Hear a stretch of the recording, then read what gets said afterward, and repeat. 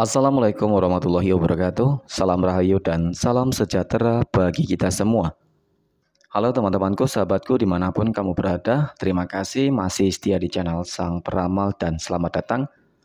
Untuk teman-teman yang baru pertama kali melihat channel ini, jangan lupa untuk mengaktifkan tombol lonceng dan notifikasinya ya. Agar tidak ketinggalan info terbaru zodiak kamu selanjutnya. Terima kasih. Pada kesempatan kali ini, saya akan membacakan readingan untuk teman-teman yang memiliki zodiak Taurus di hari ini. Nah, seperti apa sih readingan untuk teman-teman yang memiliki zodiak Taurus di hari ini? Namun sebelum lanjut, di sini saya menghimbau kepada teman-teman semua agar jangan menjadikan video ini sebagai acuan di dalam kehidupan teman-teman sekalian. Jadikanlah video ini hanya sebagai hiburan semata.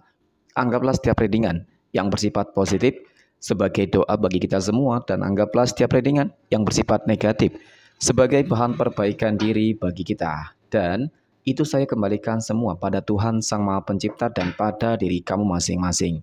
Oke, lanjut ke pokok pembahasan ya teman-teman. Readingan zodiak Taurus di hari ini.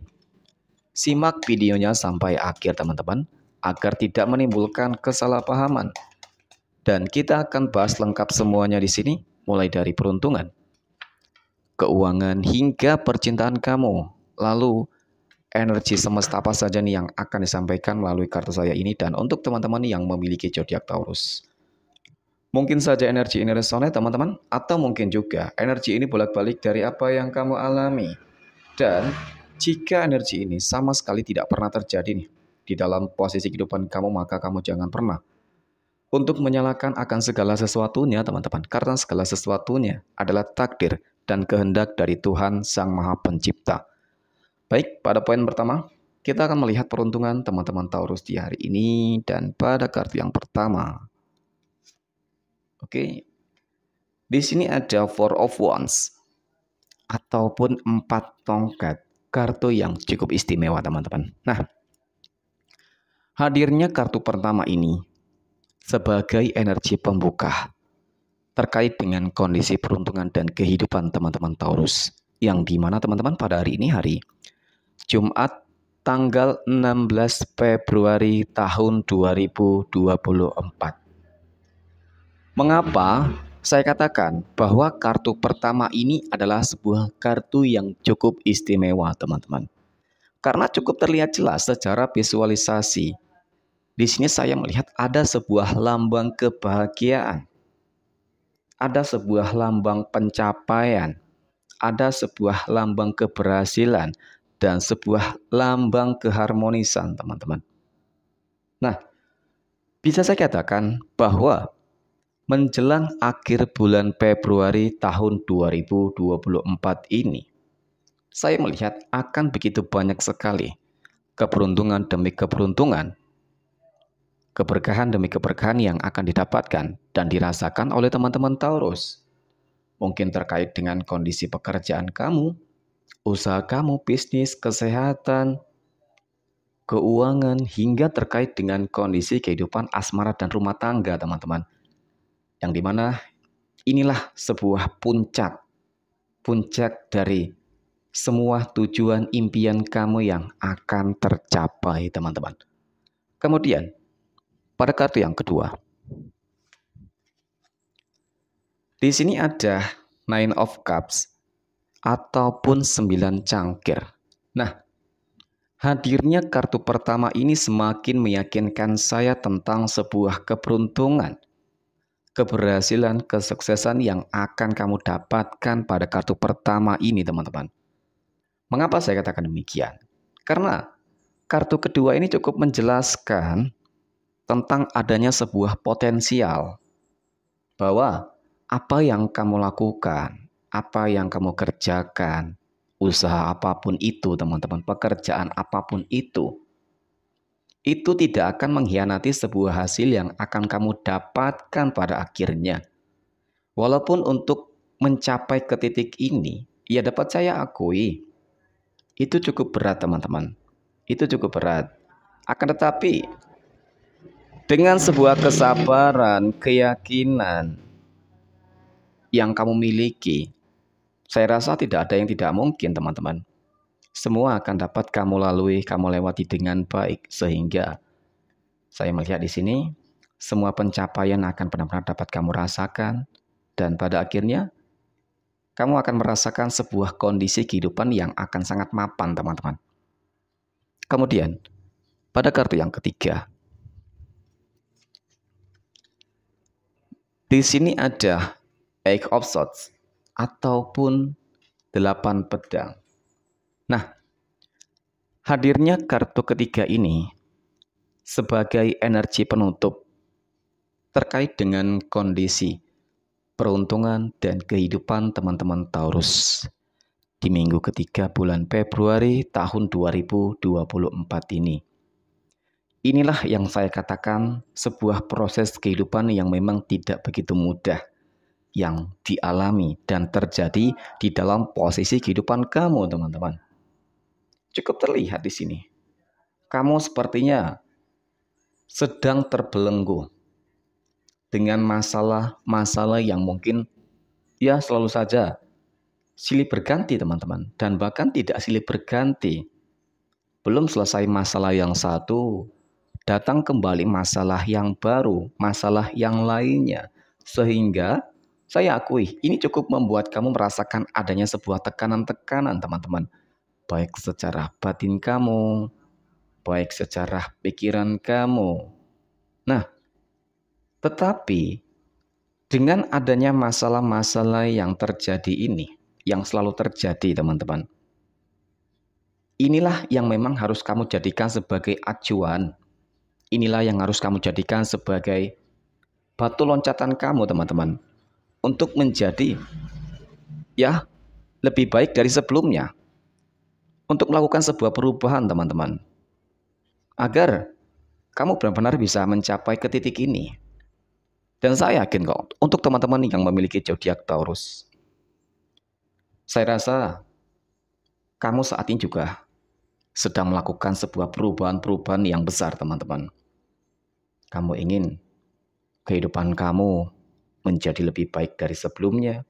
Kamu ingin semua masalah-masalah yang kamu hadapi benar-benar tuntas di pekan ini, teman-teman, sehingga kamu bisa merasakan adanya sebuah kondisi kehidupan yang lebih baik dari sebelumnya. Dan saya yakin kok, dari ketiga kartu ini cenderung positif energi yang akan kamu dapatkan dan kamu rasakan. Sehingga saya yakin kamu akan terlepas dari semua masalah-masalah yang selalu kamu hadapi selama ini teman-teman. Tetap yakin, tetap konsisten terhadap apa pun yang kamu lakukan teman-teman. Yakin dan percayalah, kerja keras kamu tidak akan mengkhianati sebuah hasil yang akan kamu dapatkan pada akhirnya. Kemudian, pada poin berikutnya kita akan melihat kondisi finansial ekonomi teman-teman Taurus di hari ini. Dan pada kartu yang pertama, di sini ada two of wands ataupun dua tongkat. Nah, hadirnya kartu pertama ini teman-teman sebagai energi pembuka terkait dengan kondisi keuangan kamu terkait dengan kondisi finansial ekonomi kamu di pekan ketiga bulan Februari tahun 2024. Kartu ini adalah sebuah kartu yang menggambarkan tentang sebuah rencana-rencana besar yang sedang ataupun akan kamu lakukan dalam waktu dekat ini teman-teman ataupun ini memang sudah kamu lakukan saat ini dan kamu mencoba untuk ya memanajemen segala sesuatunya dengan baik agar kamu memperoleh sebuah kelancaran-kelancaran di situ, teman-teman. Nah, saya rasa apa yang kamu lakukan sejauh ini sudah cukup baik sih, teman-teman. Dan mungkin di pekan ini kamu sudah dapat bisa merasakan adanya sebuah kelancaran-kelancaran tersebut, teman-teman. Ini berkat kegigihan kamu, keyakinan kamu yang saya lihat cukup tinggi. Dan di sinilah sebuah harapan kamu bahwa ya kamu ingin berhasil, kamu ingin sukses dengan usaha bisnis apa pun yang kamu lakukan selama ini teman-teman ataupun saat ini agar ke depannya kamu dapat memperbaiki kondisi kehidupan kamu. Dan saya yakin kok adanya potensi kartu pertama ini teman-teman. Ini cukup menunjukkan bahwa kamu akan memperoleh sebuah kelancaran-kelancaran di sini teman-teman. Kemudian pada kartu yang kedua. Di sini ada five of swords ataupun lima pedang. Hadirnya kartu kedua ini teman-teman. Saya rasa di sini cukup menjelaskan tentang sebuah sikap kewaspadaan diri yang memang harus kamu lakukan, teman-teman. Jangan mudah percaya terhadap seseorang yang baru kamu kenal dan bahkan orang-orang yang memang mungkin kamu rasa sudah kamu kenal dengan baik, teman-teman. Mengapa saya katakan demikian? Karena saya melihat di sini ada sebuah potensi yang cukup besar. Kamu akan merasakan adanya sebuah masalah-masalah, teman-teman. Masalah-masalah dari apa? Masalah-masalah dari orang-orang yang ada di sekitar kamu, orang-orang terdekat kamu yang akan melakukan sebuah manipulatif. Jelas terlihat sebuah manipulatif akan dilakukan, teman-teman. Nah, di sinilah kamu harus benar-benar bisa, ya, lebih memfilter, teman-teman. Seseorang yang benar-benar bisa kamu ajak untuk bekerja sama. Karena mungkin selama ini saya melihat dan saya merasakan banyak sekali orang-orang yang lebih memanfaatkan kamu, teman-teman. Kemudian, pada kartu yang ketiga di sini ada death. Nah, sebagai energi penutup terkait dengan kondisi finansial ekonomi teman-teman Taurus di minggu ketiga bulan Februari tahun 2024 ini. Death. Saya rasa ini adalah sebuah kartu penentu terkait dengan kondisi keuangan kamu, terkait dengan kondisi kehidupan kamu nih.